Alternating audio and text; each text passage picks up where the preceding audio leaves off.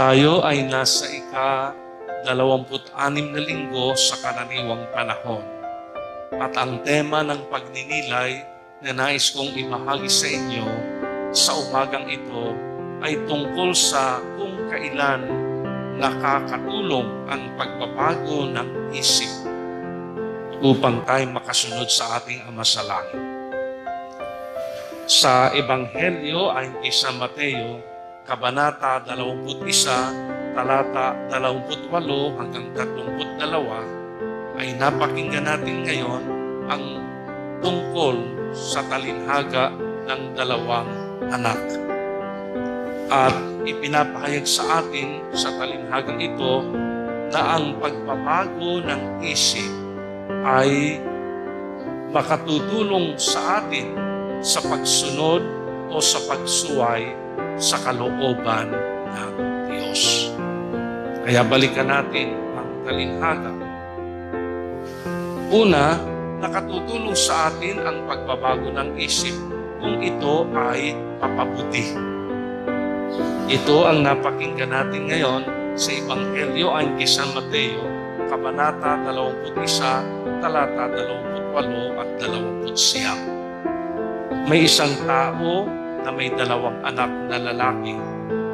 Lumapit siya sa nakatatanda at sinabi, Anak, lumabas ka at magtrabaho sa ubasan ngayon. Ayoko po, tugon niya.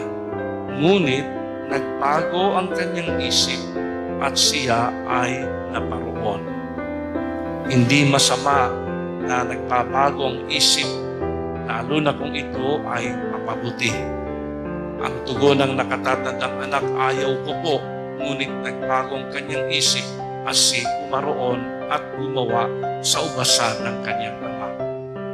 Meron tayong tinatawag na palabra honor, word of honor, isang salita, hindi masama na labagin ito kung magbabago tayo ng isip dahil sa ito ay mas nakabubuti.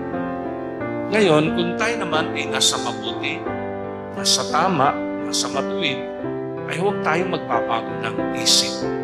At yan ang ipinayag sa atin sa unang pagbasa mula sa aklat ni Propeta Ezekiel. Kabanata 18, talata 28. At ang masamang nagpakabuti at gumawa ng mga bagay na matuwid ay mabubuhay. Pag ikay masama, nagpagong isip mo, nagpakabuti ka, ikay mabubuhay. Dahil sa pagtalikod sa nagawa niyang kasamaan noong una, mabubuhay siya at hindi mamamatay. Kaya hindi masama na magbago ng isip, lalo na kung ito ay papabuti. Ngayon, kung tayo nga ay nasa tama, nasa mabuti, nasa matuwid, huwag magpapagong isip, ituloy natin yung ating ginagawa. Kaya sa ikalawang pagbasa mula sa sulat ni San Pablo sa mga taga-Pilipos, Kabanata 2, talata 1 hanggang 2, ganitong ipinayag sa atin. Nagbibigay ba sa inyo ng kasiglahan ang buhay na nakaugnay kay Kristo? Naaaliw ba kayo ng kanyang pag-ibig? May pagkakaisa ba kayo sa Espiritu Santo? Kayo ba'y may nadaramang hangarin na tumulong sa iba? Kung gayon, lubusin ninyo ang aking kagalakan. Ibig sabihin, ituloy ninyo. Huwag kayong magbabago ng isip. Kung kayo minadaramang hangarin na tumulong sa iba, huwag ninyong ibitin. Huwag na ninyong, uh, huwag na kayong magdalawang isip. Ituloy ninyo sapagkat iyon ang mapabuti. Ikalawa, ang pagbabago ng isip ay hindi nakatutulong kung ito ay papasama. Ayan ang napakinggan natin sa Ebanghelyo ayon kay Mateo, Kabanata 23, 21, talata 30. Lumapit din ang ama sa ikalawa at din ang kanyang sinabi, Opo, tugon nito, ngunit hindi naman naparoon. Yung nakababatang anak, opo daw, hindi naman laway lang. Yun yung pagbabago ng isip na papasama. Tumugon ka ng oo, hindi mo naman tinupad, ipapasama yung pagbabago ng iyong isip.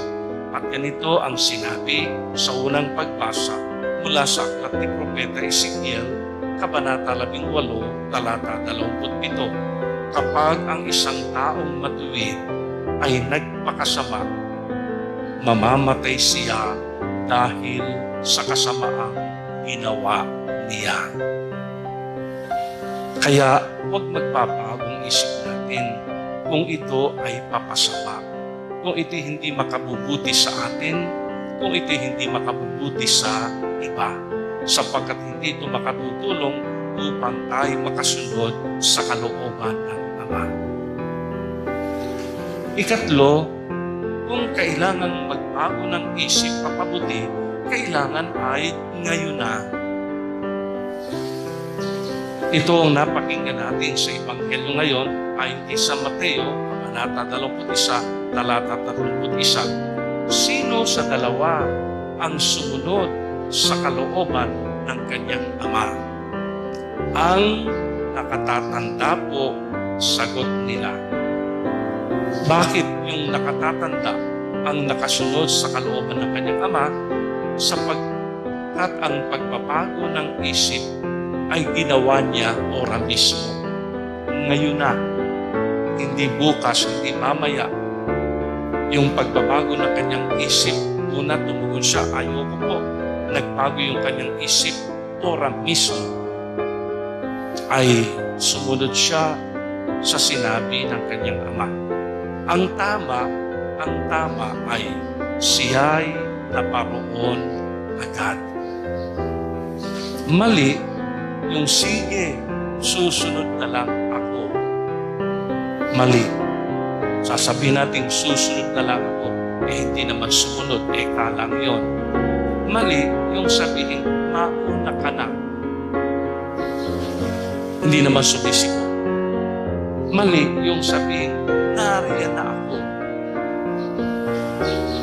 Katulad ng pagsisimba, halika na mahuli tayo sa oras, baka mapuno ng 30%, sasarado na yung pinto ng simbahan.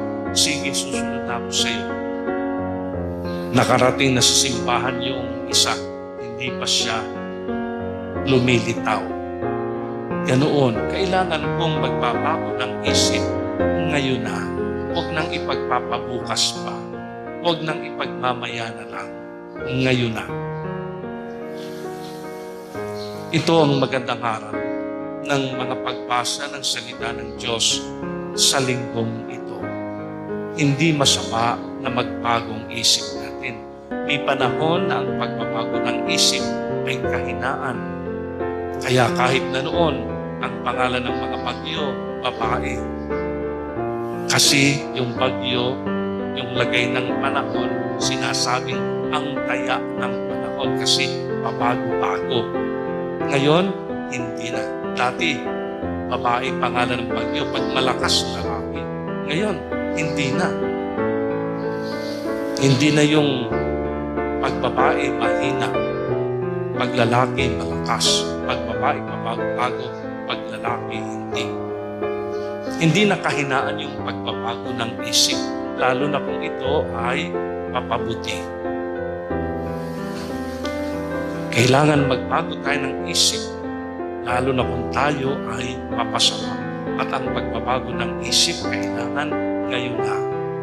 Huwag nang ipagpapabukas pa. Ngayong panahon ng pandemya, marami tayong panahon upang makapag-isip-isip. Nasaan ka sa harap ng Diyos?